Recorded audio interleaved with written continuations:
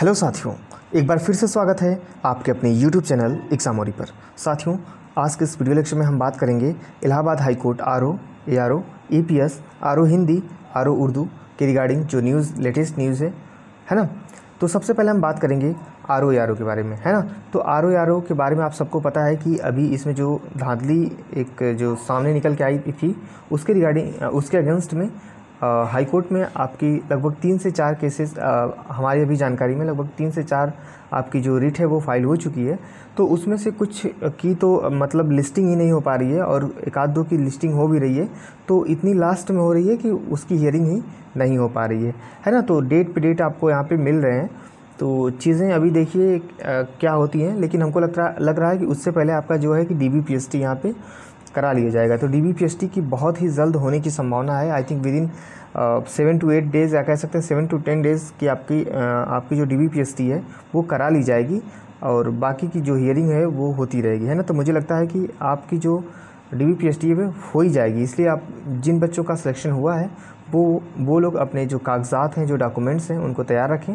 आपका D B P S T लगभग सात से दस दिन के बीच में कभी भी हो सकता है। है ना? और जो बच्चे केस को लड़ रहे हैं वो अपना जारी रखिए, है ना? मान लेते हैं इनका सिलेक्शन हो भी जाता है तो अगर आपको लग रहा है कि इस एग्ज़ाम एग्ज़ाम में फेयर नहीं हुआ है है ना? तो आप अपना केस लड़ते रहिए, आपको भी एक दिन सफलता ज़रूर मिलेगी, है ना?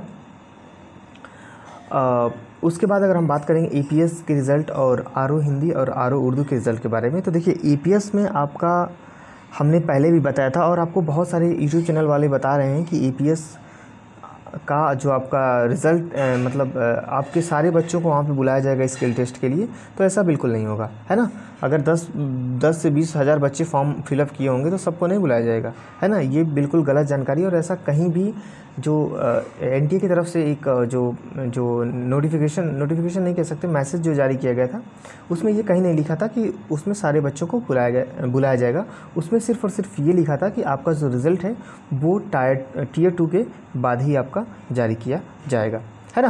तो इसका मतलब ये कतई नहीं होता कि आप यहाँ पे सारे बच्चों को बुलाया जाएगा टीयर टू के लिए, है ना?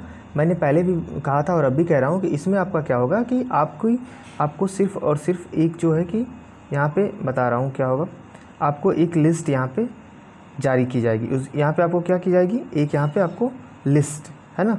लिस्ट जारी की जाएगी। उस लिस्ट में लगभग मिनिमम 600 हालाँकि एन के द्वारा ये है कि मिनिमम दस गुना बच्चे वहाँ पे पास किए जाएँगे टायर टू के लिए। तो लगभग लगभग 600 हो सकता है कि एन अगर अपने नोटिफिकेशन में कुछ बदलाव करे और हो सकता है ज़्यादा बच्चों को भी बुला ले, है ना?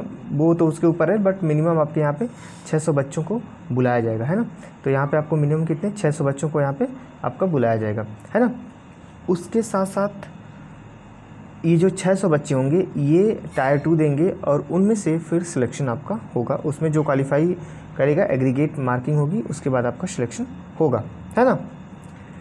ज़्यादा से ज़्यादा पॉसिबिलिटी ये हो सकती है कि आपका जो ये मेरिट बनेगा, जो 600 बच्चों को बुलाया जाएगा, ये सिर्फ़ और सिर्फ़ आपके रिटर्न एग्ज़ाम के बेस पे बेस पे बुलाया जा सकता है। है ना? ये ज़्यादा ज़्यादा ये हो सकता है, क्योंकि बहुत सारे बच्चों का जो क्लेम था कि हमारी जो टाइपिंग ख़राब हुई थी तो उसके रिगार्डिंग एंट्री हो सकता है कि सिर्फ़ और सिर्फ़ रिटर्न के बेस पे बुलाए, लेकिन मुझे ऐसा बिल्कुल नहीं लगता कि ऐसा करेगा।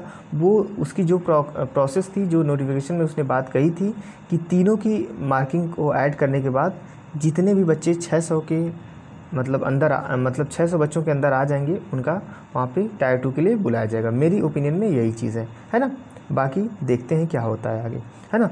अब हम बात कर लेते हैं आरओ हिंदी और आरओ उर्दू के बारे में। तो इन लोग का भी ऐसे ही होगा इन लोग की भी एक लिस्ट जारी की जाएगी। लिस्ट में जिन जिन बच्चों का नाम आएगा उनका वहाँ पर आपका टायर टू के लिए आपको बुलाया जा बुलाया जाएगा और फिर आपका एग्रीगेट मार्किंग से आपकी फ़ाइनल रिज़ल्ट या फिर कह सकते हैं कि आप आ, हाँ आपका फ़ाइनल रिज़ल्ट वहाँ पे आपका बनेगा।